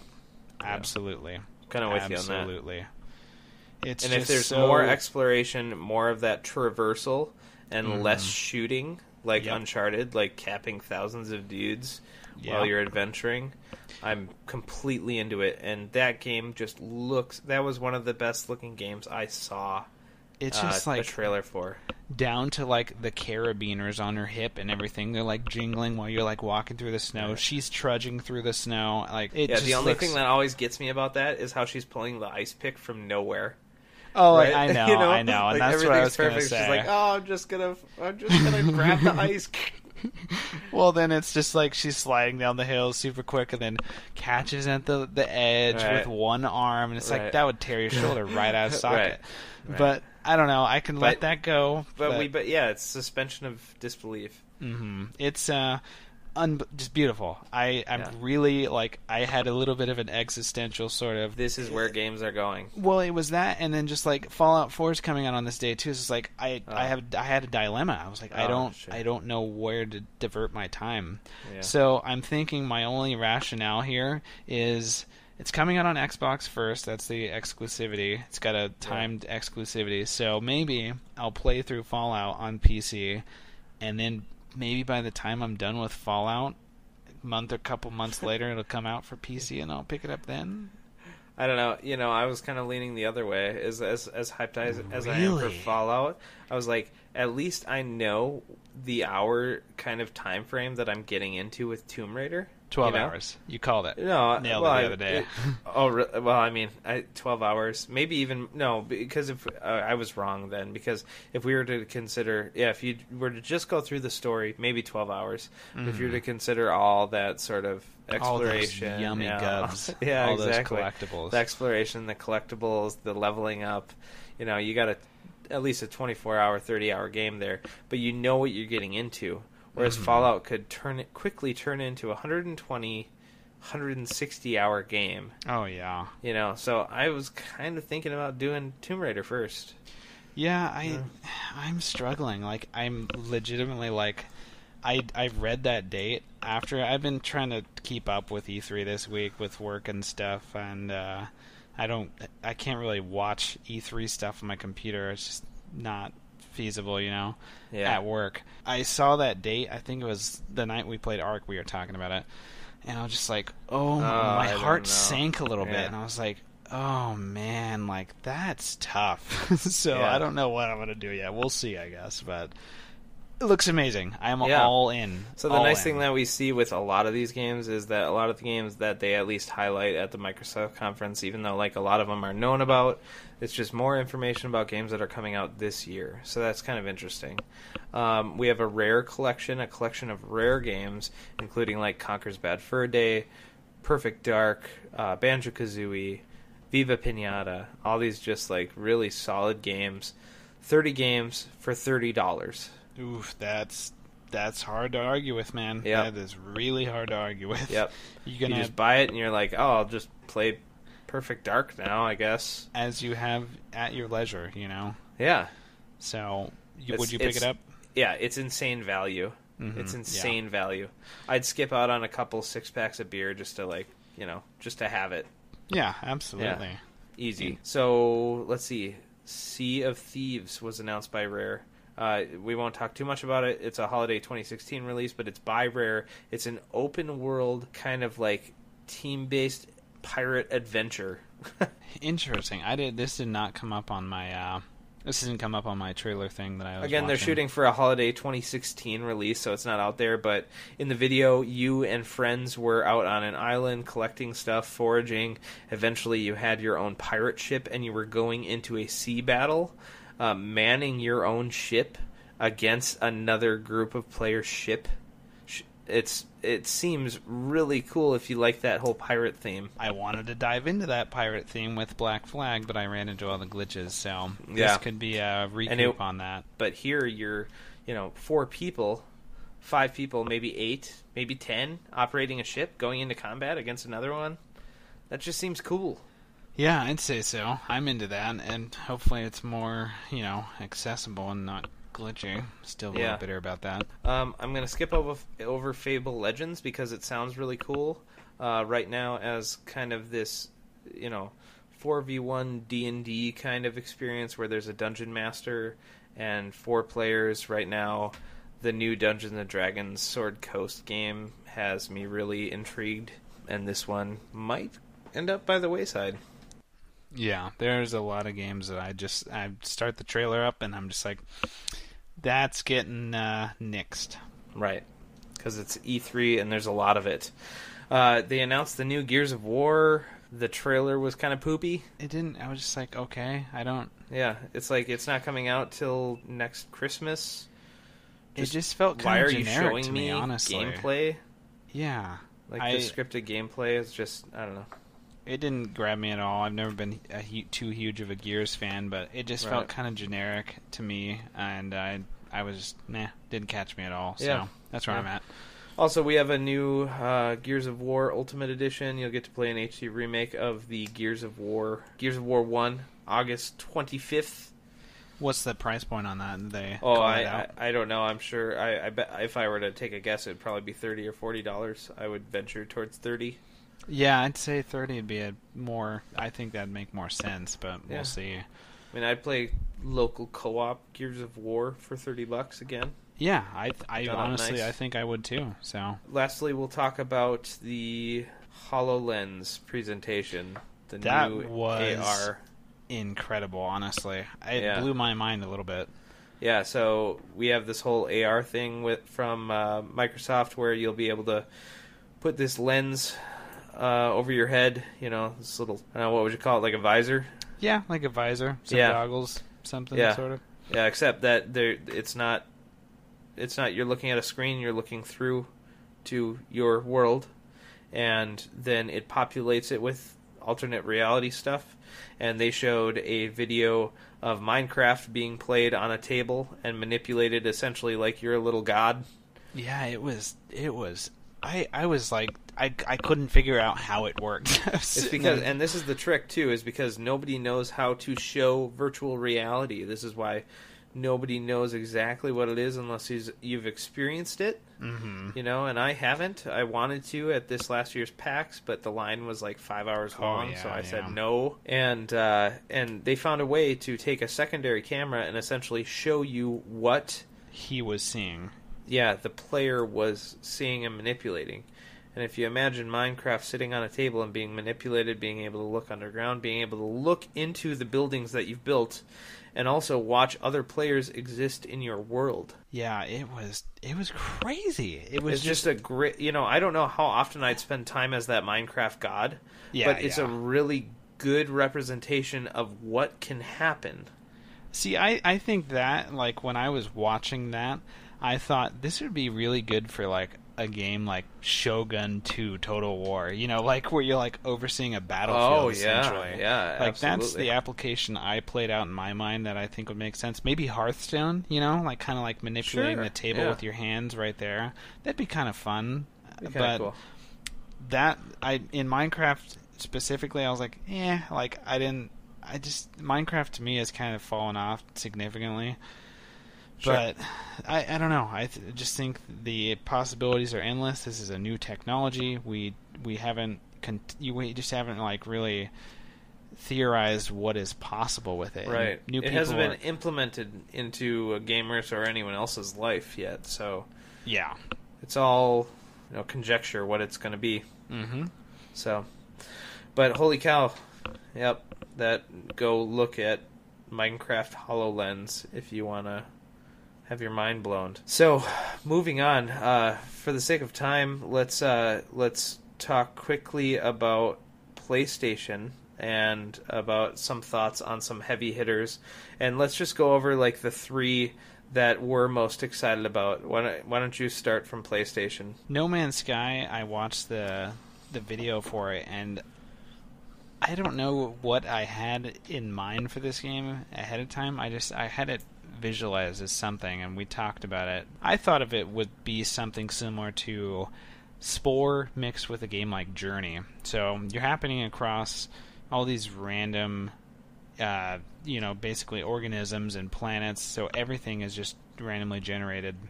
And the other part of that would be the game Journey, where you would just feel so incredibly isolated, and you wouldn't have any sort of contact or communication with other players. And when I watched this trailer, or you know, it was like a it was a demo essentially, right? Right. So it just seems so vast and overwhelmingly vast. It, he scrolled out, he zoomed out from the planet he was on, and it just kept going. And it was Yeah, it was a universe. It, It was, was- a universe. yeah, it was a universe. And I, I guess I didn't, I kind of was skeptical about Right. their claims before, but when I saw it, I was just like, oh my, like this is kind of, it was kind of like, it made me sad in a way, like Yeah. kind of like depressed. It was just like, because Like, then you, you might go into the game and never meet anyone. yeah. I, I do like the idea, though. It seemed like because he was able to pick a random planet and travel to it, right? hmm So that leads me to believe that even though they said you might not ever meet up with another player in this game during your exploration, that you could actually search for a world that your friend named because they found it first and Oh, fast right, travel right. towards it. Because be why would they yeah, why would they just do this thing where you say I want to just go to this random planet, you know, besides for maybe a really cool tech demo, you know. Right. I feel like that's going to be implemented in the game, which I would like that because it would be fun to explore with a friend and go into those space battles with a friend. Like I think that's inevitable that they need to take that into account in a game like this because it's there is an emotion behind feeling alone and feeling like you're the first one exploring this world. And you can absolutely do that but why not give the option? And it seems like a pretty easy option to eh, maybe it's not so easy technically but to just let your friends be in the same instance as you you know Yeah, because like like you're saying, there, there's one thing to be like, oh, like I discovered this. Boink! I'm gonna put my little flag. Look at that. I named that planet, and then you're just like, yeah, that was pretty cool. Well, and you know how many people are going to come to like happen upon your planet and be like, "It's already named. I'm going on to the next planet. I'm going to go Mhm. name that one." Yeah, man. Like I just, it like I said, it bums me out. It really bums me out to like think about that sort of that level of like isolation potentially. So I don't know. But that's that's absolutely in like my top three, top five of experiences with Sony or with PC, whichever. I think it's it's coming out on PlayStation 4 first. Mhm. I'll probably end up buying it right away. yeah, well, we it's got right up there. It's beautiful. It's super cool idea. and we got a good cohort on the PS4, so it's Yep. a good it's a good bet. Absolutely. How about um, you? I'll take I'll take the next one. Um, I think that I mean they showed the Taken King stuff for Destiny. I think Mhm. that uh, the new Destiny expansion is going to be really exciting. It's going to fix a lot of problems. It's going to give a lot of new content. Um, it's uh, it it just shows at the year mark of sort of supporting this game what it can be and where it's going. You know, like if you were to look at this and then two years down the line, two years two years after its release, um, you know how much more content is going into this game.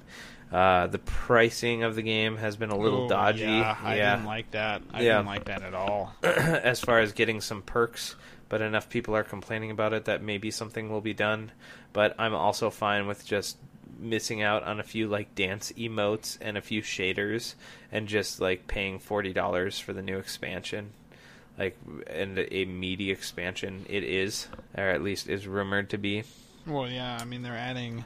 Are those new subclasses for every class? There's new subclasses for every class, so Okay. everyone gets. So right now, for example, my Titan only has Void and Arc damage, and now he'll get a Solar damage uh, subclass. Mhm. So I'll be able to do all three types of damage, and I'll be able to uh, wield a freaking Thor hammer. I saw that. Uh, that yeah. was that looked pretty cool. I have Yeah. to say.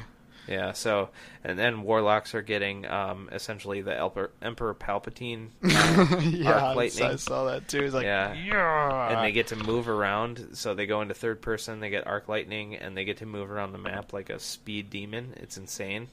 And then uh, also um, the hunter is getting uh, the night stalker subclass, which gives them a uh, void bow and arrow that they form out of air and uh, can essentially tether enemies to the ground to do damage over time and keep them isolated. Mhm. Uh, so that's super cool that the hunter's a support class.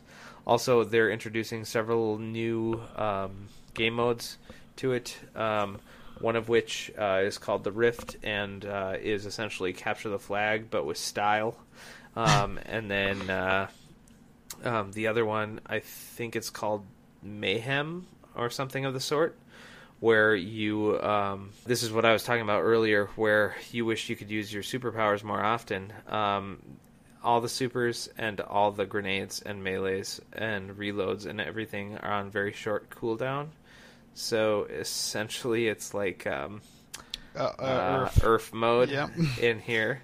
Uh, but that might give you what you want in like that little bit of sort of like spell casting ability, and you're firing your weapons a little less. And then of course there's a there's a new raid which looks from the small footage they've shown looks really cool. New strikes.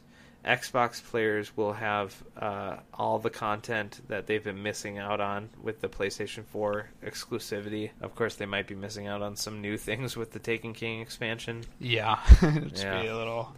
But But just always one step behind. so I'm super excited about that. But of course, that's on Xbox as well. The other one that I was super excited to see was The Last Guardian is finally real. apparently.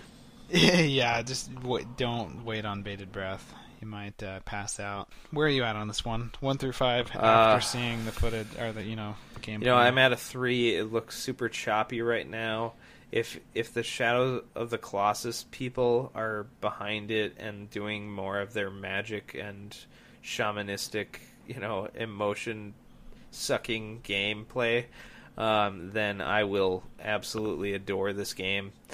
But uh, right now, the game looks to be we we basically know nothing about the game except that it is it exists, and there's a little bit more of this companion uh, Shadow of the Colossus grabbing and traversal and puzzle kind of situation. And until the game comes out, I'm still kind of like, you know, what are you going to bring to the table here? Yeah, I, God, man, I was really kind of let down in a way, I guess, by watching this trailer. It's like, eh, I mean, I, I, I kind of checked out, honestly. The voice Yeah. from that kid was really obnoxious to me, and I just.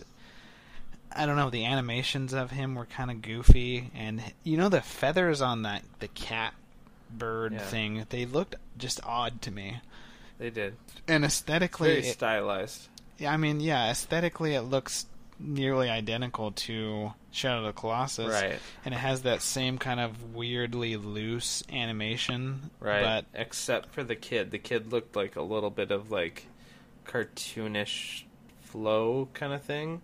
Mhm. And everything else looked kind of hyper realistic.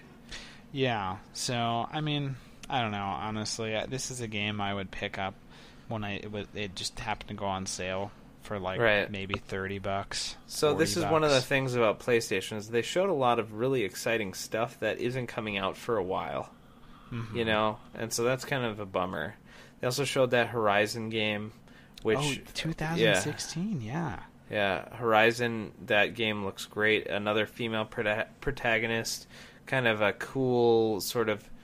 Uh, after humanity has come and gone, there's still the, a few humans out there that are competing against robots that have assumed natural forms, like ostriches, dinosaur kind of thing. So it's almost I I liked that. I really liked that particular part about it. How instead of just being like machine, like Matrix Sentinels, Right. it was they were like like organic. assumed, yeah, way? assumed prior forms. Mhm. And yeah, you were fighting them as organic beings as well. It kind of had this monster hunter esque, uh, um, Dark Souls kind of thing to it, where Yeah. you were tr- taking down this big monster uh, by slowly kind of uh, attacking its weak points. Its weak points, right? hmm Yeah, So I that one looked good. I the I mean obviously the CGI kind of cinematic behind it was really awesome looking.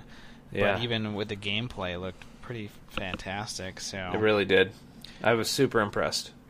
I, I that's another one that I mean, depending on when it comes out in two 2016, it might be one of those games where like I'm reluctant to play until it goes on sale. You know, if I Right. can get it at a discount. So And it also might be one of those games that's like um, a Last of Us experience, you know, where it's like this is such a singular experience that you'd be a fool to pass it up, you know. yeah, yeah. So we'll see how it goes. So Final Fantasy VII is getting a remake. Are you interested? Honestly, no. I uh, I played Final Fantasy X, and that was the first Final Fantasy game I'd ever played. I was I loved it. I loved every part of it.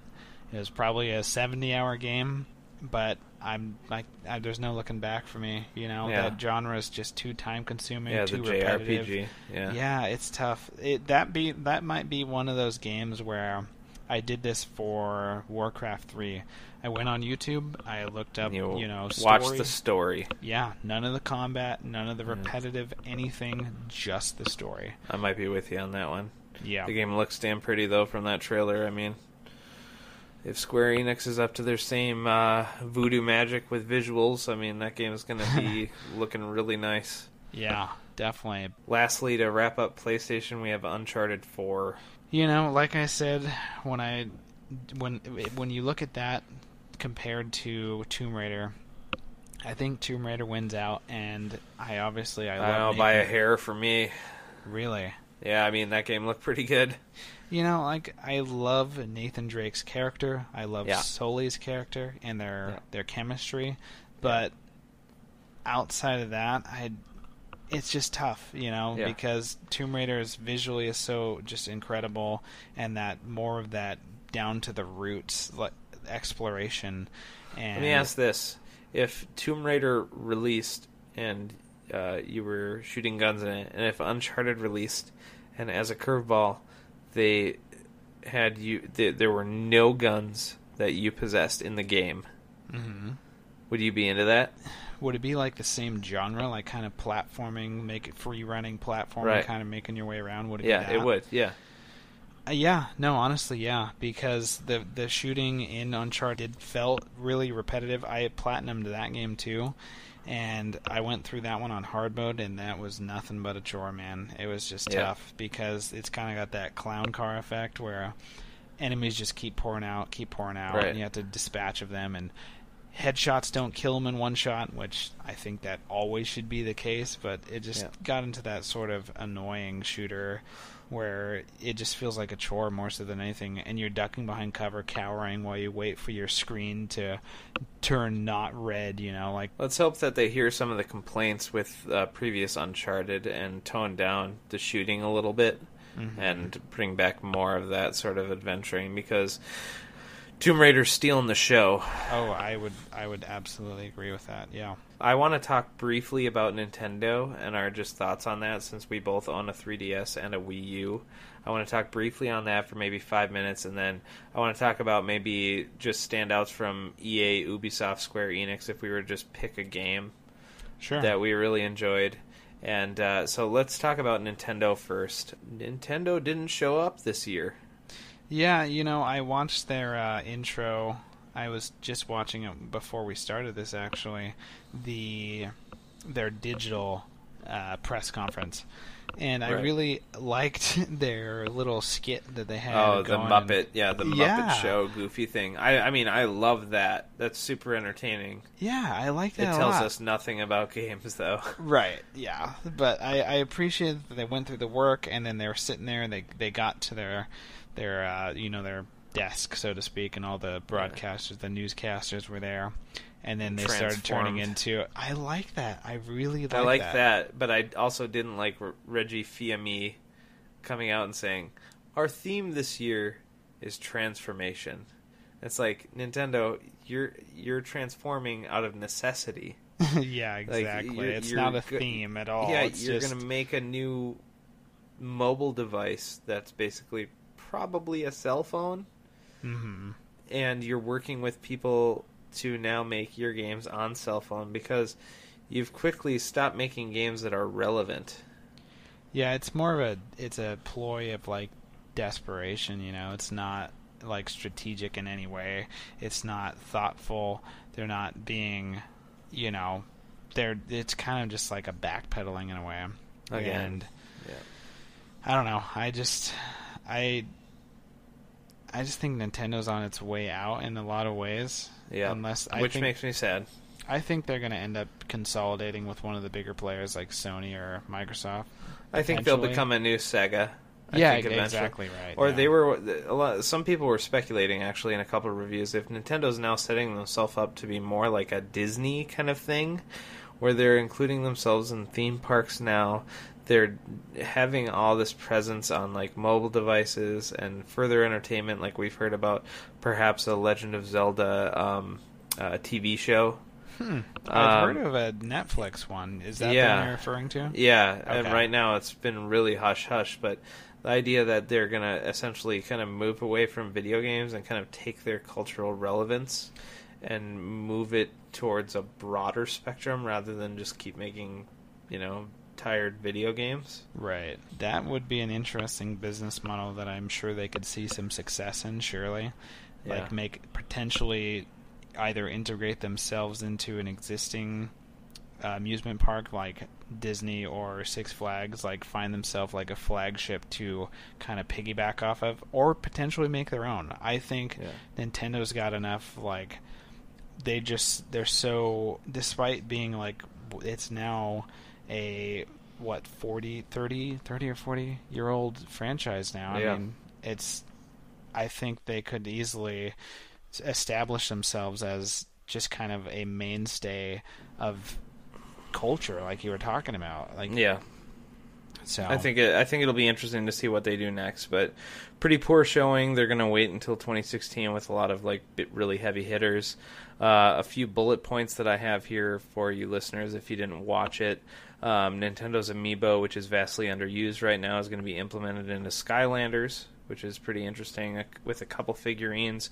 We have Super Mario Maker coming out September 11th, which is a uh, build it yourself Mario machine, kind of in the realm of Super Mario 3, and like the top loaded uh, or the top favorited, I guess, um, levels will come to the top of the list, and you can play anyone's level that they've made. So what I saw is that you could play anyone's level in any one of the games.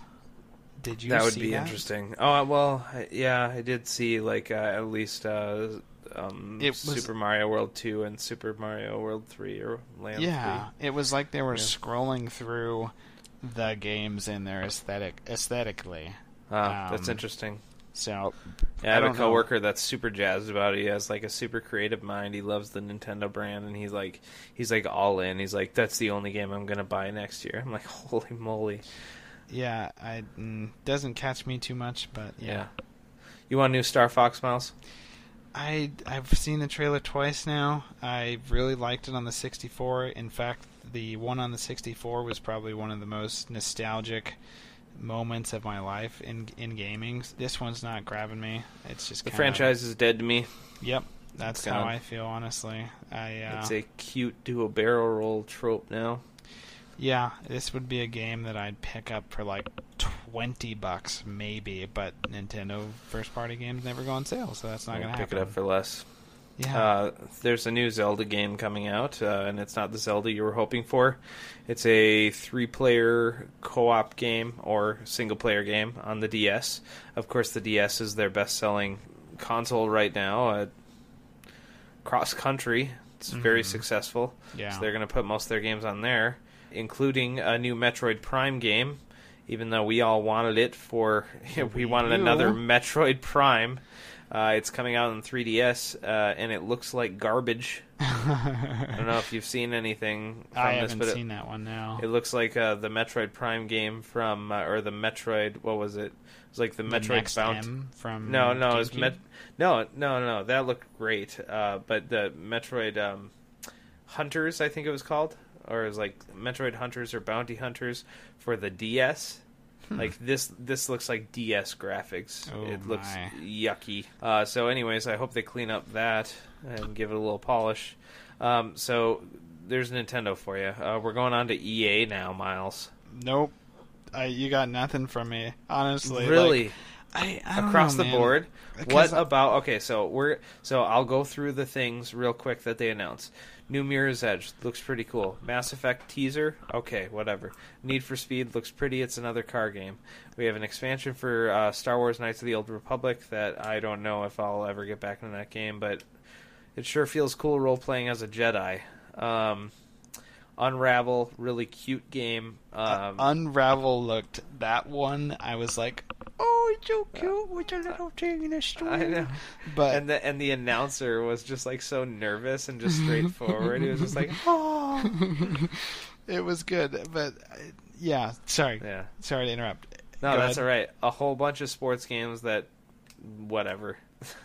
that's how they make most of their money, so they got to show them. Yeah, And then we also have Battlefront, and you're you can't tell me after what you saw that you're not excited about that. Did you see in the show notes? Did you, are you looking at the show notes? No, I'm looking at my notes. Okay, what? What do you got? What games have you? This is the what games have you lost interest in? Why? following the show? Why all of the EA games? In caps. Why battle? Why Battlefront? I I don't know, man. Like, oh yeah. By the way, you corrected me on the last episode. I think it was saying it was a third-person shooter. It's a first-person shooter, like I said. It was first person shooter, and then it was also third person. You need to watch the trailer again because there What? there there was plenty of third person con- combat. You can switch around between the two. weird because what I saw was like all first person on Hoth. What it looked Okay, like. Okay, you need to go back and watch that whole trailer because you're naysaying Star Wars Battlefront, and that game looked incredible. The graphics on that game, the feel of that game, the clean, the cleanliness of the UI, the idea that, that was really good. I did appreciate that very much. I have to say. Right, the idea that you can get into ATSTs, ATATs, you have a jetpack. This whole like the whole- you need to go back and watch the full the full bit of it, and I'll I'll put a link in the show notes and I'll link it to Myles this very evening so we can correct him on his none of the EA games after this because that one maybe was one of the most exciting games I've seen at E E3. Like, I just I don't know, man. Like Star Wars games as a whole have never quite captured what it's like for me to watch a Star watch Wars movie. movies. Well, so these games now, and I can say this with certainty because I've played the others, and and I'm sure you have too. But you definitely you feel like you're so that the goal behind this is that you're you are participating in the iconic Star Wars battles, right?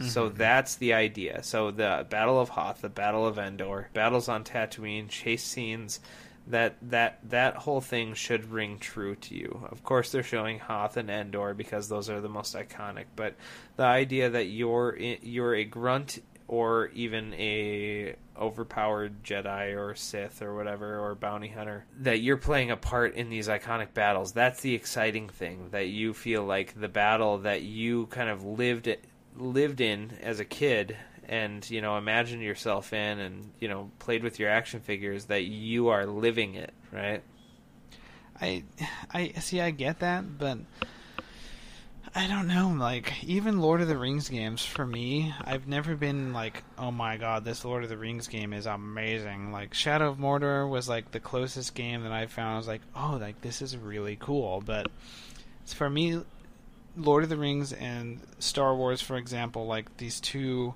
just broadly you got the sci-fi and then the fantasy sort of end of the ends of the spectrum.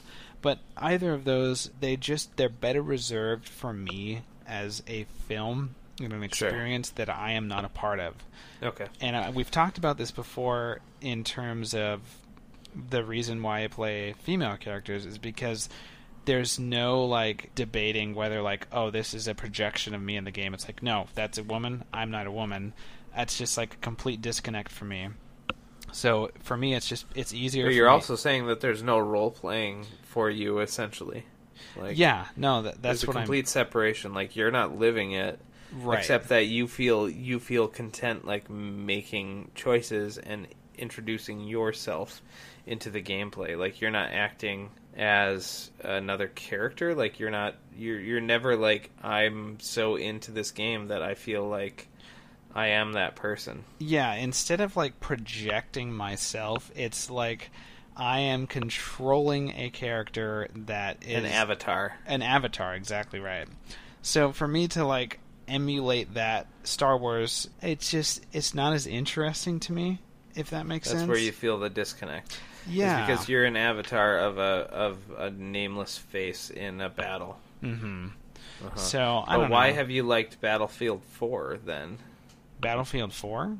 Yeah, like why have you liked the Battlefield games I don't or Titanfall? I like the gameplay, you know, like it just Right. feels like it's not it's it's something more like I don't know it, I I don't know I guess it doesn't seem like I'm explaining this very well. I mean, I get it. You just want good gameplay that rewards you. Like that's what you kind of get off on, right? Yeah, but I don't Okay. want I don't want to like solely But you don't want to mix like your Star Wars and your like themed licenses with that gameplay. yeah, I guess Okay. if that makes sense. Like Yeah, I guess it kind of. Yeah, yeah, sure.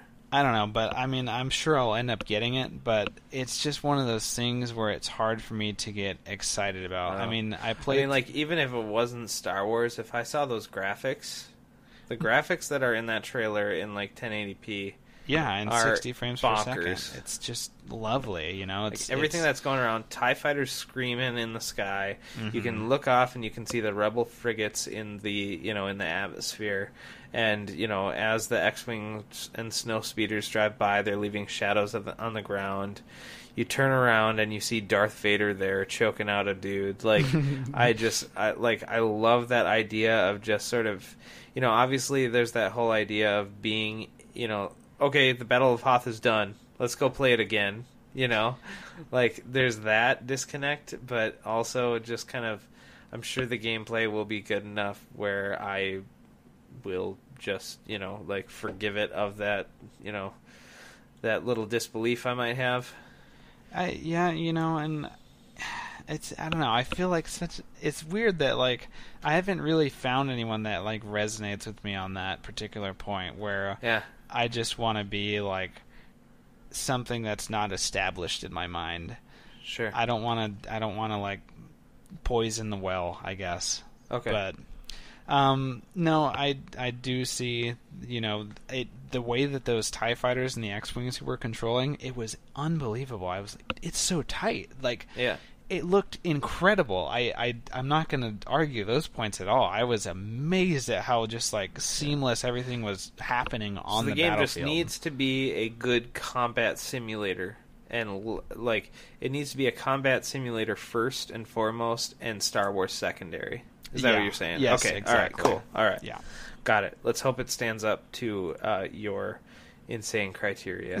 Uh, I know I'm uh, insane. I'm sorry. That's all right. So uh, I'm going to go over a couple things that people might be into, and we'll end on one game that people might be excited about. Um, Ubisoft is making another South Park game. This time, instead of that whole fantasy trope, it's now they're all superheroes and supervillains, which sounds great. Uh, more of the stick of truth quality that we can expect. Um, Ghost Recon Wildlands, four player co op Ghost Recon, fus- futuristic style combat, trying to stop a bunch of drug dealers and uh, um, baddies out in uh, the Wild West. Sounds pretty cool. And Kingdom Hearts 3 was announced, and that is where we'll end our podcast. So, Myles, will you buy Kingdom Hearts 3? No, absolutely Yeah. not. I don't know. Depending on when it comes out, I don't know. I don't know.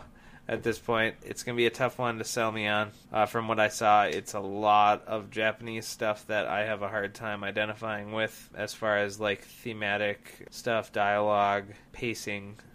Oh, the pacing, like we talked about with Final Yeah. Fantasy games, it's just Right. it's, It's, mm, just it's so fo- it's so foreign, you know. it's just too stretched out. You know, Yeah. we need more digestible portions of gaming Yeah. and it's in an interactive and immersive experience that can be delivered in a more condensed format. So Right. that's a miss for me because I didn't have a childhood. So the Disney attraction for that is just it's under the charts. What are you gonna do? Yeah. Well, but regardless of you know some of these smaller games or games that went under the radar, there's a lot of big blockbuster stuff out there. It was a huge E3, and the idea, I mean, like it's a lengthy podcast. We're probably going to be going on maybe a two-hour podcast here, guys. Thanks for sticking with us. Yeah. you, you, you are. oof. You're a champ. You're Yeah. a champ. Uh, the uh, the idea though that E E3 E3 can present us so many games that we have so much to talk about that we're excited about, and at least games even that are like we think look really cool but need to pass up. That's where we stand. Yeah, no, it's a what a weird place we're in. I was thinking about this earlier this week. It's just like I just feel like such a such a ungrateful snob. It's just like we have this amazing display of games, and here I am, just like nope. And it's just like someone's Oh, like, but the one thing that we need to think about too regarding all this, and we'll probably just wrap up here, but uh, the one thing that we need to think about is the the uh, the games industry makes so much money and is so lucrative if you do things right that so many people are willing to take the risk on putting a good game out there, and so many people are doing that right.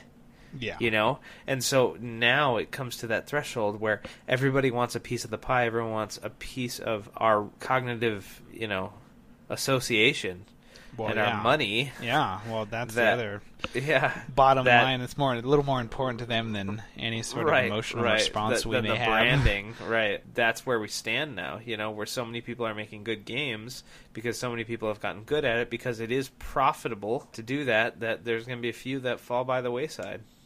Yeah, so there's a lot of incentive out there for them to make the games. There's a lot of incentive for us to consume these great games that have just progressively gotten more immersive and just are constantly evolving in terms of gameplay, in terms of the the graphic appeal of everything that we see and that meaty visceral sound that we all crave. So, I think that's that should be the name of the podcast. meaty visceral Uh, sound. level daily grind, level four, median visceral. I like it. Yeah, let's do it. All right.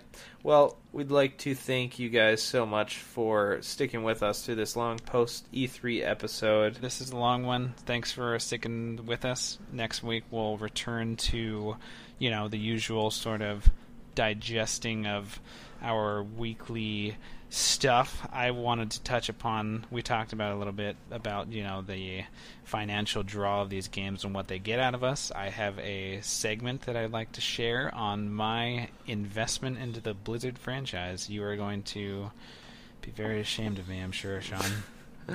I I'm sure I will. So, well, everyone, uh, you can look forward to that on our next episode. But this week, thank you for joining us on the Daily Grind. You can follow us on Twitter at the daily or at Daily Grindcast at Daily Grindcast. You can follow uh, Myles on Twitter at Flock of Miles. That's correct. And you can follow me, Shaun, at the Shaunsie, capital T, capital S, T H E S H A U N S I E. And if we were to go back and spell things, Myles is spelt with a Y. That's correct. Thanks for catching that. You got it. So thank you everyone for joining us on the Daily Grind, and we'll catch you next time. For now, we say ding. You've made it through level 4. Ding!